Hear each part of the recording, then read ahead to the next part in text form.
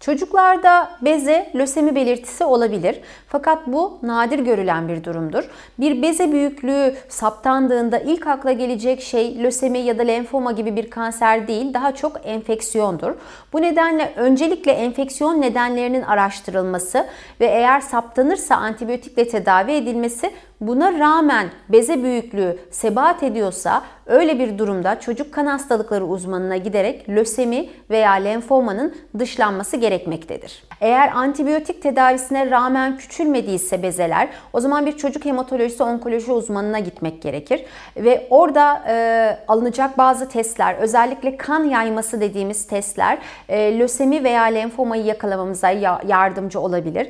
Eğer bu testlerle bir sonuç elde edilemiyorsa lenf düğümünden biyopsi alınması gerekebilir. Biyopsi sonucuna göre de hastanın lenf bezesinin büyümesinin e, bir maliniteye mi yani lenf kanserine ya da lösemiye mi bağlı olup olmadığı ya da enfeksiyona mı bağlı olup olmadığı ortaya çıkar.